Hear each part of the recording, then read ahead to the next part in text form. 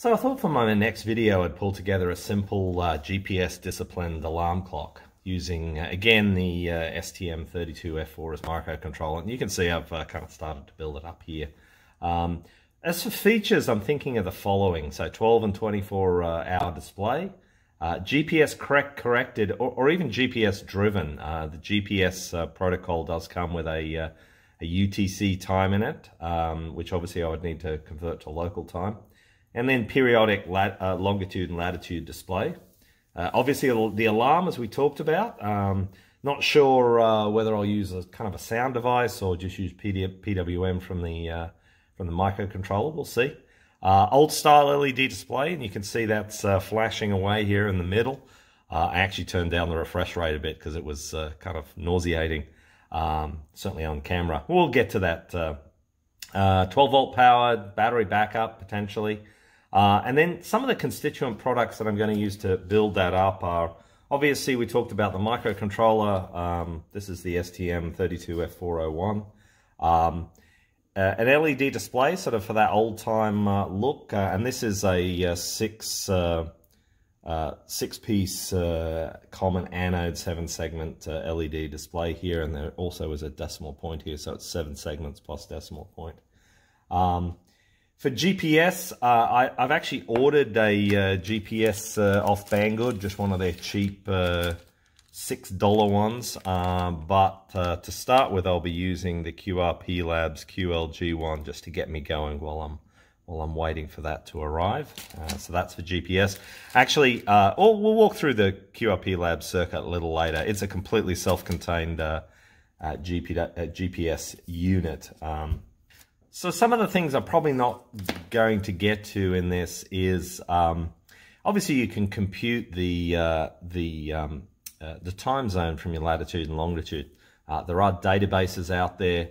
Uh, I probably won't be doing that. Um, I'll, I'll, I'll, see. I've, I've, downloaded the code. The code's not a big deal. Uh, the databases are somewhat large and, and probably too large to put on the STM32F4.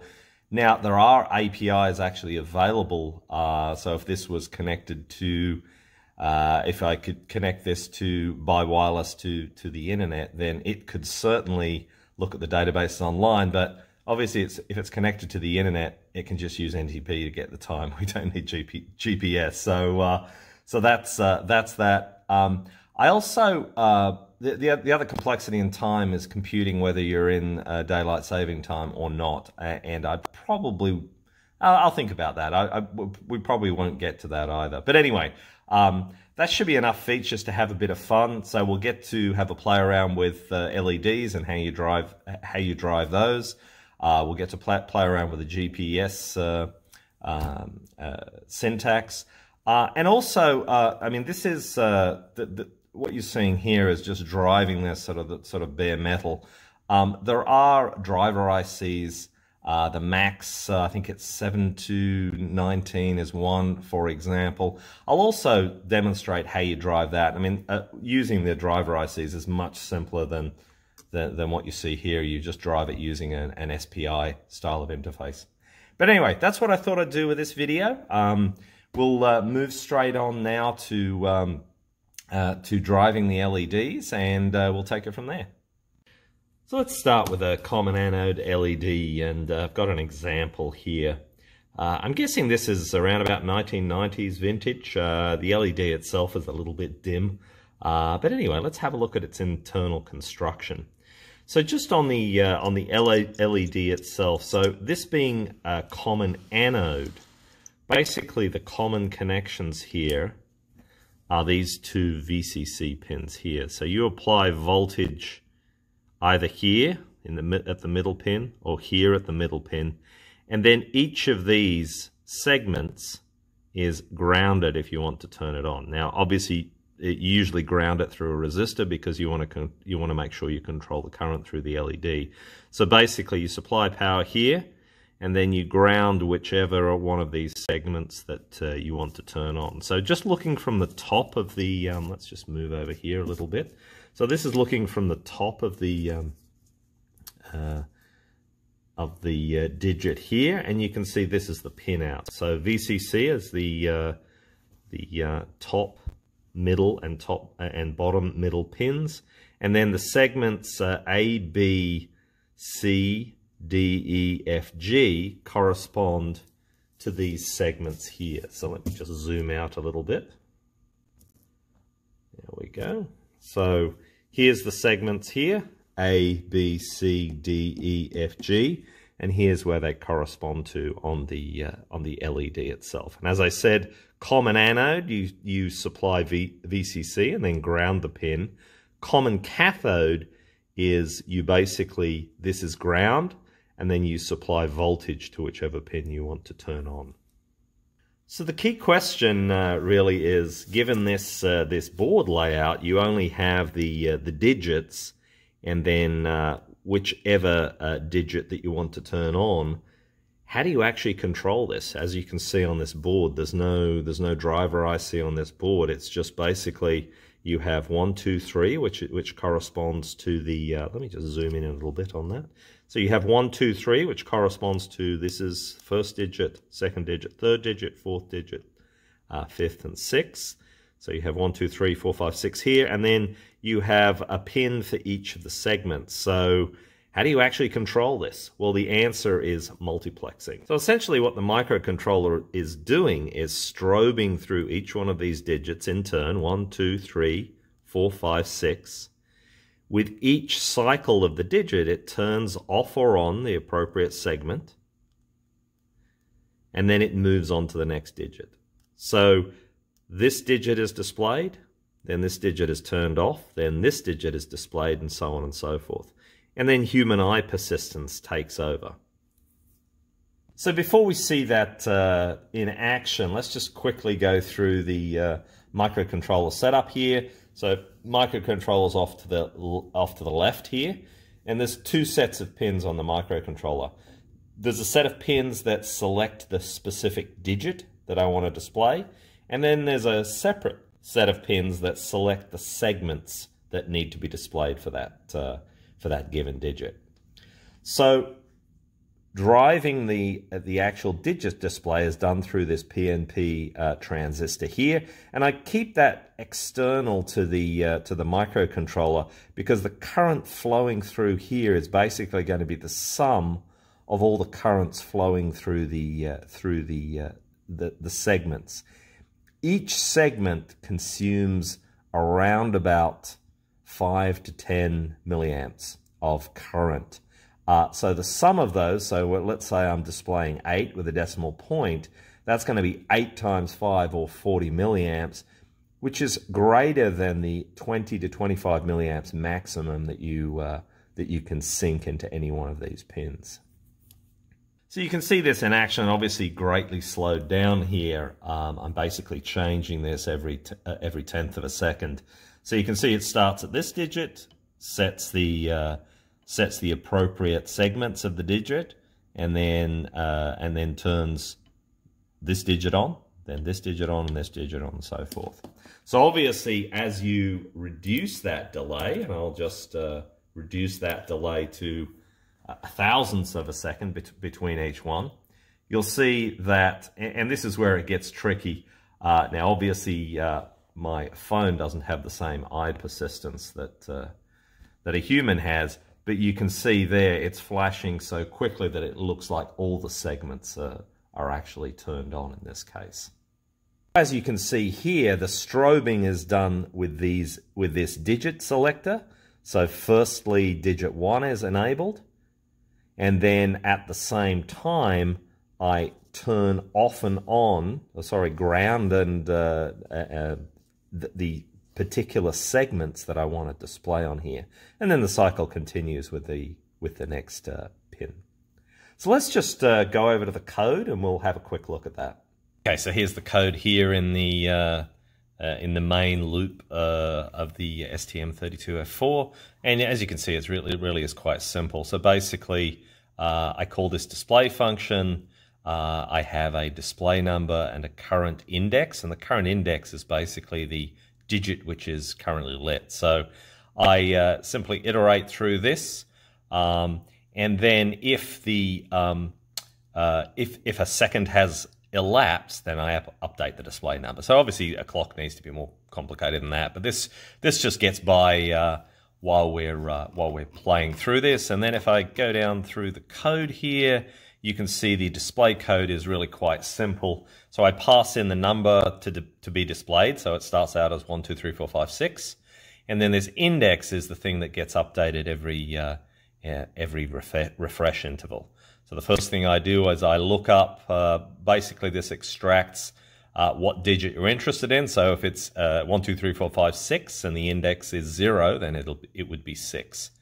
Um, I then follow up that by turning all the LED uh, uh, digits off uh, by setting the pins, all these pins high.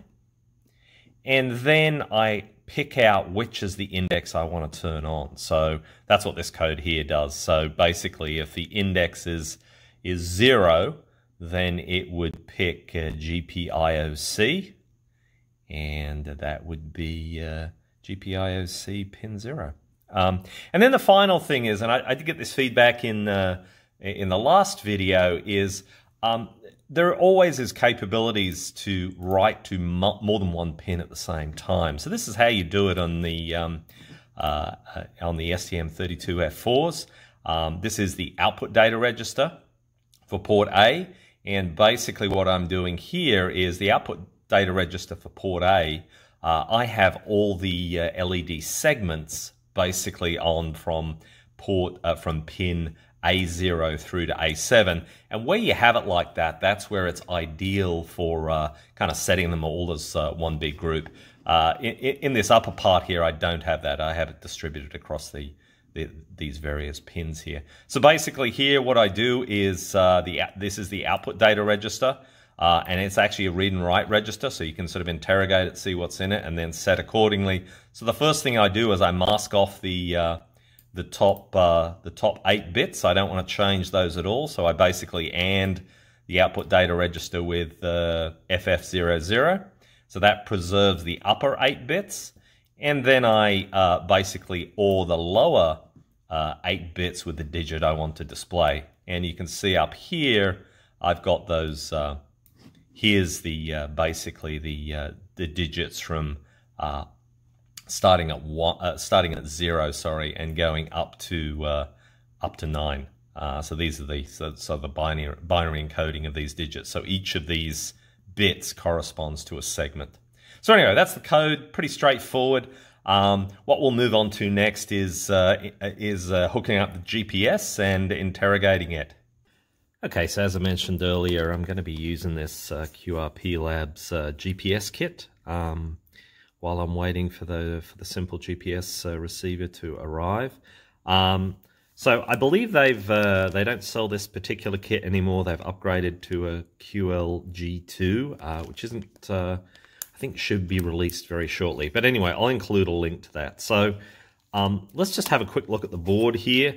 Um, obviously, the, there's two main components uh, to receiving a GPS signal. There's the antenna, which you can see on the right here, and then there's the uh, RF module, which you can see on the left there. So the, the RF module does all the sort of heavy lifting to turn the GPS signals that it receives from the satellites um, into basically a, uh, um, a serial uh, interface that you can then tap off with your uh, microcontroller.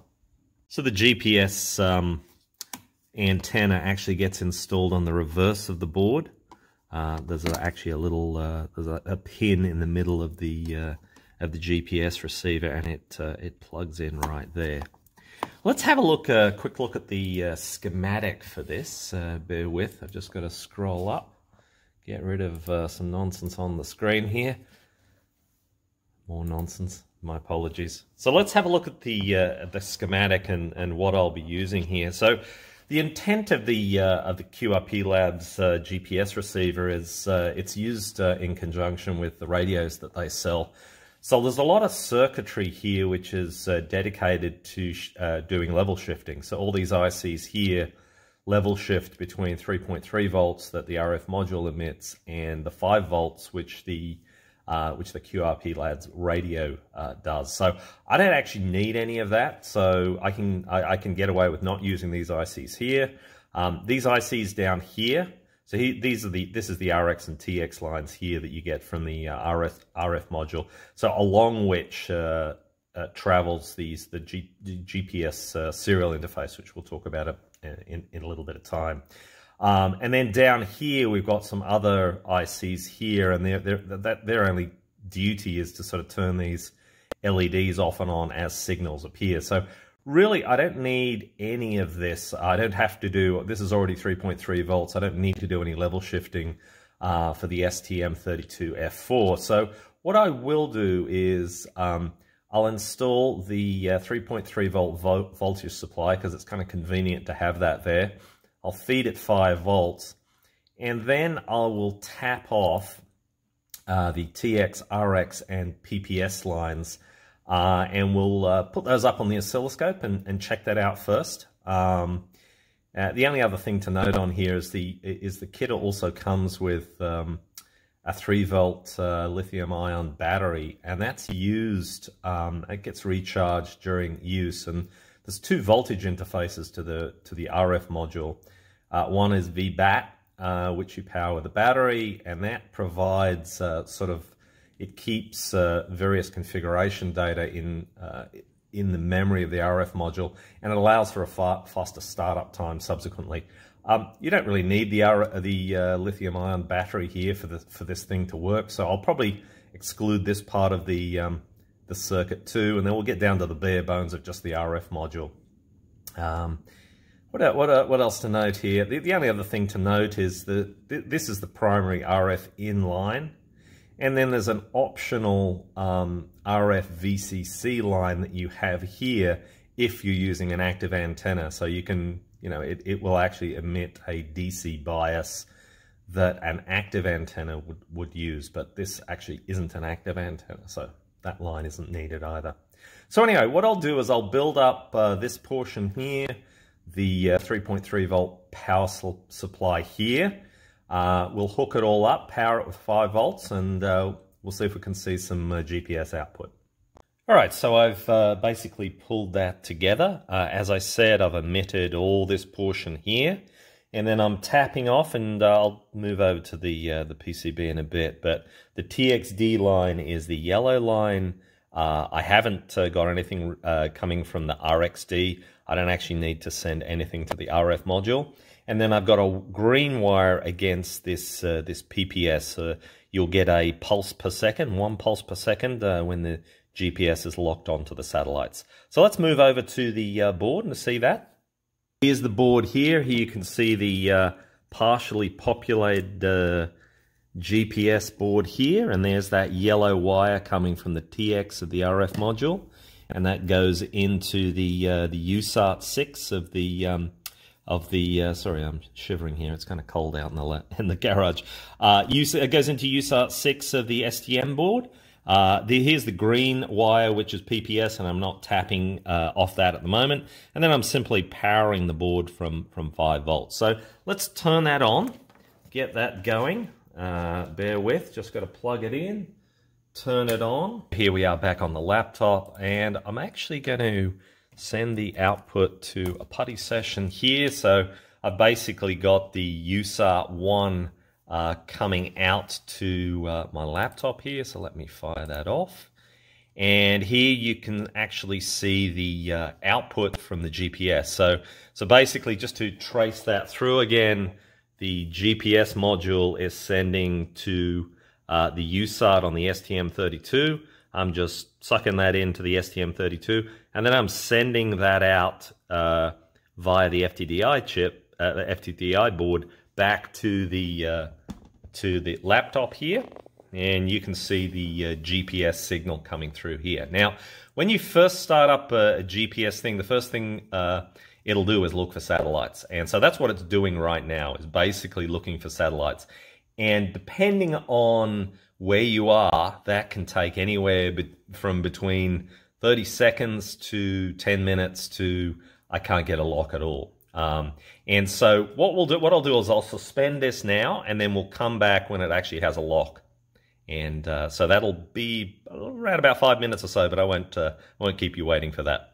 Okay, so let's uh, take a look at some of the output from the uh, GPS receiver just to see it um, uh, when it hasn't got a lock, which is what, what's up the top here, and then when it has got a lock. Um, so as you can see, uh, here's the, the set of messages, and I'll go through these in a bit more detail, GPGGA, GPGLL, and you can see uh, in the when it doesn't have a lock, basically there's no position information returned, and there's no uh, satellites information returned either. So this is the message GP GSV, and we'll go this into uh, more detail, but this is the number of GPS satellites in view. And uh, you can see here that the number of satellites in view is actually, uh, let me see, three, there's actually zero satellites in view here. So anyway, um, let's, uh, uh, as I said, uh, I started this off and after about five minutes it came back with a lock. And here's a sample series of messages here. And uh, just a quick note, these, these GPS coordinates, I have mucked with these so you don't get an actual fix on my garage. But, but anyway, um, so let's just go through, through some of the messages here. So the first one we see is GPGGA. And GPGGA is the uh, GPS fix and undulation message. And I'm getting the data from all this, and I'll provide a link to this from this uh, Novatel site here, which goes through all the uh, GNSS log information here. So you can see it uh, has details on all the different types of uh, messages you get off the GPS receiver. Uh, so here's GPGGA here, and it describes the message, gives you an example, and then it uh, describes the message in detail. So I'll provide a link to this site uh, for anyone who's interested. But let's just move move back to the message so we can so we can see that in detail here. Um, so obviously the first thing of interest to us is this uh, UTC time here. So this is uh, hour, hour, minute, minute, second, second, and, and then uh, uh, thousands of seconds. Now, with this GPS receiver, I'm not receiving any thousands of seconds information. So basically, this is accurate to within plus or minus a second, which is certainly more than good enough for the, uh, for the uh, clock that I'm building.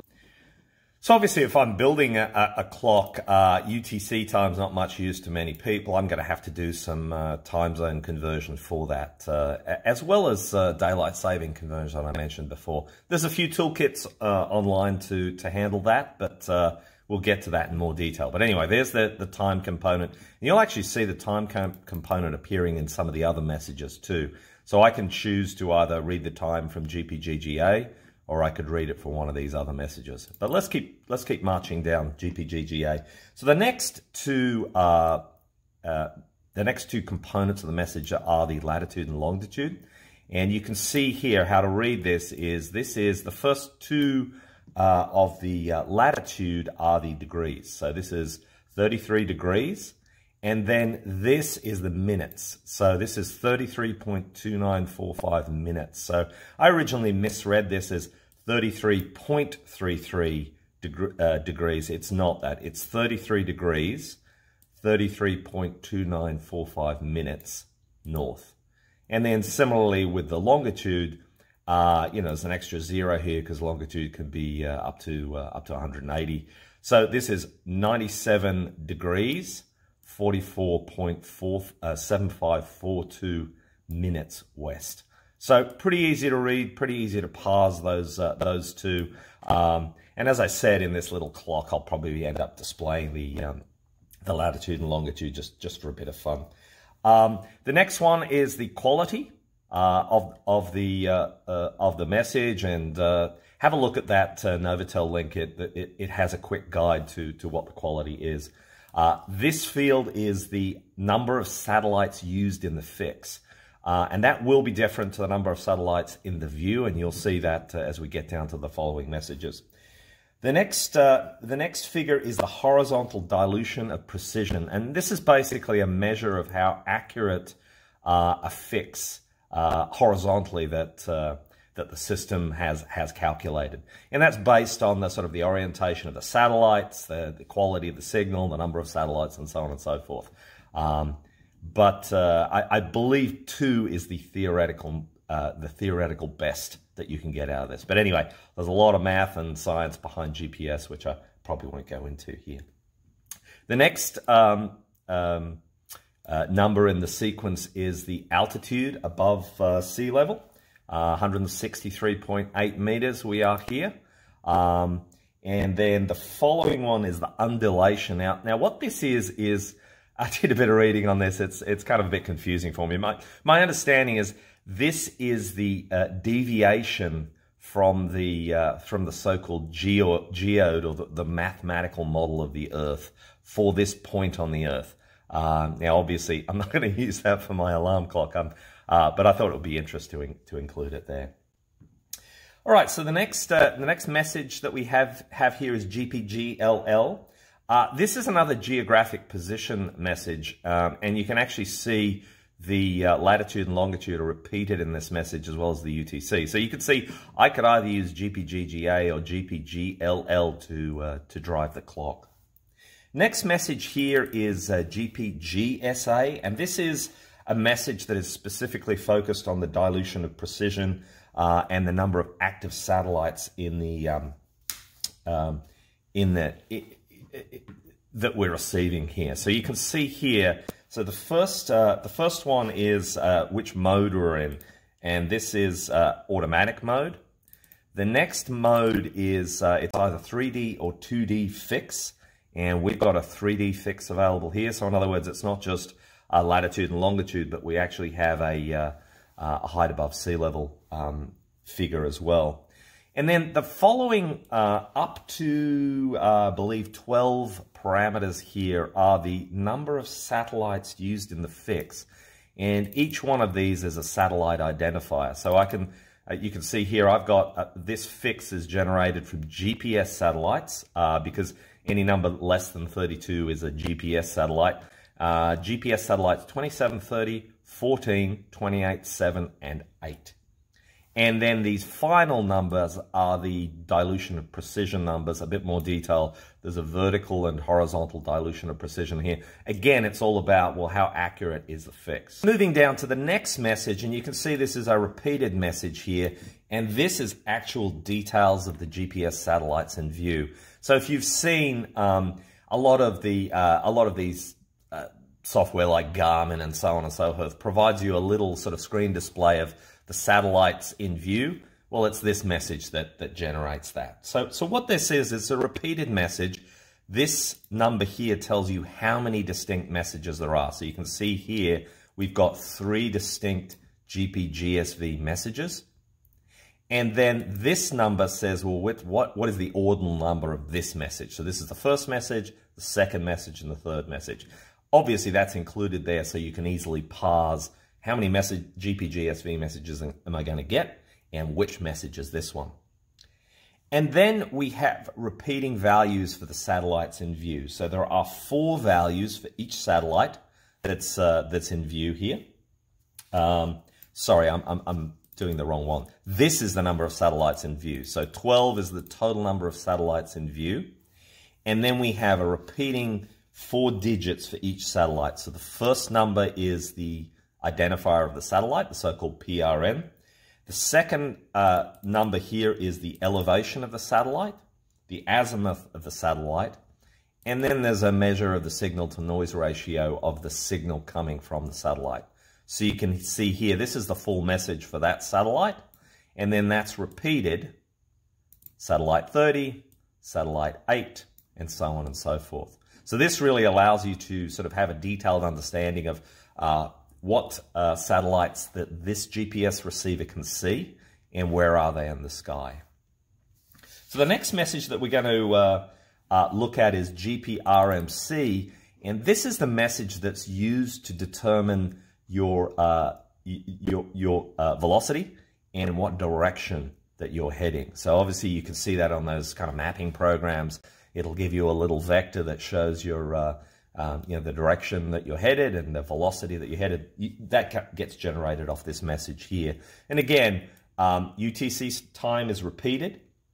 This is a status indicating whether the, the, um, uh, the readings are actually valid or not. We have the latitude and longitude, again, repeated here, um, for, a, as from before.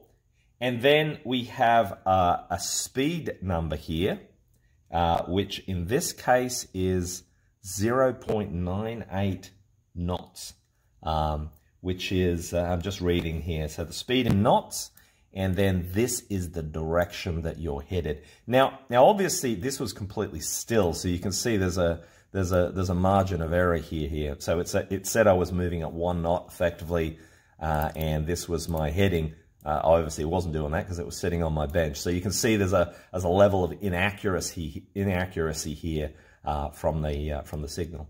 This is a, an interesting message here. This might be useful as also is this is actually the date and time, uh, the date. So uh, 17th of uh, February 2021. Um, so that might be useful in the alarm clock too. I, I don't know how reliable uh, this particular um, this particular date is. Um, so I'll have to I'll have to do a bit more digging on that. And then the final message, at least that's output from this receiver, is another message that describes in greater detail uh, the track and speed. So it's kind of similar to this message, but in this message, uh, you get the heading, which is uh, this figure here. So you can see it's the same as the one above. Um, and then you, you get the speed in knots and the speed in kilometers per hour. Um, so that's just a little more detail on the uh, on your track and heading. So anyway, that's the details of the, um, at least for this receiver. Other receivers will, will uh, you know, this is a very cheap receiver, so uh, other receivers will have more detailed messages or different messages. Uh, the order of the messages certainly isn't guaranteed, so that's all part of the parsing. Um, so obviously in this, you know, I'm going to pluck off the, um, the time. That's the thing that's important to me. Um, so what I'll do is I'll, I'll create some code in there that does that parsing. Um, and then basically I'll update the code that I showed you before to show it setting the time. And the other thing that we're going to do is uh, obviously, um, you know, this is going to be this is going to be a sort of a clock. So I need to be able to, for the clock to work um, if it loses the GPS fix. So I don't want to just derive the time strictly from the uh, from the GPS signal. So what I'll do is I'll use the real-time clock capability that's in this particular STM32. It's in it's in pretty much most of them, the F1, the F4, F7, and so forth. And what I'll do is I'll uh, set the real-time clock from the first GPS signal it gets, and then I'll just read that GPS signal periodically. Uh, the real-time clock on board the uh, STM32 is pretty accurate. Uh, I mean, obviously, it, it will, like everything, it will drift. And, and so what I could do is basically set the real-time clock, and then periodically, maybe once a minute, once every 10 minutes, update that clock from the GPS. So that's what I'll do next, uh, and we'll come back and see the results of that. Okay, so the uh, the code's complete, and uh, let me just pan over to the to the clock here. So uh, it is actually uh, GPS disciplined at the moment. Um, so that's UTC time there, 1749 minutes and 16 seconds. so let's just walk through some of the code and let me show you what I did there. So just a couple notes to start with. I, noted, I noticed that I was using PC13. Um, uh, that's actually the anti-tamper port, uh, was using a part of that. Um, there's a recommendation against using that for anything that uses anything more than a couple of milliamps, so I moved that over to PB9. Uh, just a note on setting up the RT, uh, the real-time clock. It is pretty straightforward, but just let me show you where that is in the uh, the cube setup here.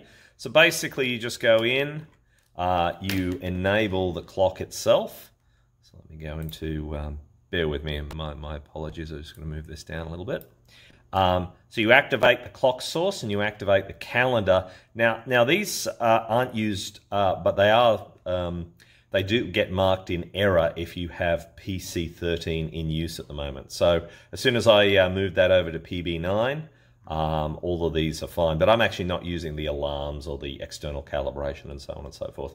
Um, just down onto the parameters for a quick sec. So the parameters that um, are in use here, and this is similar to the uh, the timers. You've got this uh, uh, asynchronous um, uh, prescaler and the synchronous prescaler. And basically, let's just go over to the clock configuration for a moment. Um, I'm using as the um, frequency source of the clock this LSI, which is one of the internal lower frequency uh, oscillators, and that's 32 kilohertz. So what the clock needs is a, a one hertz signal, and that's where this um, pre-divider and pre-scaler come in. Is this is effectively like the timers? It's one less uh, So this is 128 and 250, and 128 times 250 is 32,000. Um, and that's what you need. You need to sort of scale it back to a one hertz uh, signal. Okay, so let's move into the code. And uh, the first function of interest is discipline clock, and that's uh, called uh, in the while, the main while loop. And what its job basically is to do is to uh, look at uh, this GPS info, which is the shared GPS info um, that the, the, the program uses uh, that stores all the GPS information. So the first check to see is is the clock actually disciplined right now? If the clock is disciplined, what I basically say is, all right, well, uh, wait um, wait a minute and then only discipline the uh, discipline the RTC once a minute. It kind of felt wrong to uh, be constantly disciplining the uh, real time clock. Um, so anyway, uh, that's what I've decided there. I could have each, e equally disciplined the clock every time I have a valid GPS signal. So in terms of uh, determining a valid GPS signal, that's these lines of code here. Just make sure that I actually have parsed a, a signal correctly. Uh, and that the uh, timestamp that was recorded on that uh, that GPS info is less than 200 milliseconds away. I don't want to be um, updating the real-time clock with a, a stale uh, signal. And then in here, this is where I populate the uh, real-time clock uh, struct with the hours, minutes, and seconds from GPS info. And then I call HAL RTC set time. Now note, uh, there's two formats uh, for HAL. Uh, for, for all the HAL RTC, there's the binary ones, which is what I'm using here and then there's binary coded decimal or BCD ones. Um, so anyway, as soon as I call HAL set time, uh, the real-time clock is set, and then I mark the uh, GPS inflow with uh, a true for GPS, so it's GPS discipline now, and then I mark GPS info, the actual GPS info itself as invalid, because I don't want to be using this same, uh, I don't want to use, be using this same uh, record again to uh, discipline the clock. Okay then, so this is, uh, the, the clock is disciplined, so just moving to where it's displayed. So this is the display time function, and you can see here it's getting the, um, uh, the display uh, time off the real-time clock. So there's this set of function calls here, HAL RTC get time, and it populates this struct with the current hours, minutes, and seconds according to the uh, real-time clock. Now, one interesting little note here is you can't just call HAL RTC get time. You have to call both of these in a pair. And I've included a, a, the note from the, the HAL libraries here that says you must call HAL RTC get date after HAL RTC get time, otherwise, and then it basically says you, you get invalid values. So uh, after uh, th that gets populated into uh, the S time struct here, I just uh, pull out the hours, minutes, and seconds and then update the LED as I, as I showed you before. So that's uh, pretty much uh, all I want to do in this video. I'm going to break this into two parts. The video is going a bit long. I do have planned to uh, sort of create some um, setting alarm functionality and having a user interface so that you can set your UTC uh, offset and so on and so forth. Uh, but I'll hold that off for the for the next video. Um, and uh, I'll probably um, what I'll probably do is uh, get into KiCad and uh, and create a, a, a, schematic for what I've got set up here as well. Um, I mean, obviously, it's, it, it is pretty straightforward, but uh, it always helps to have a, a, schematic for reference. So anyway, I'm going to wrap this for now. Um, I hope you enjoyed this video. Stay tuned. Uh, I will create a part two where I kind of wrap up all the functionality to discuss uh, earlier on. So anyway, that's all for now.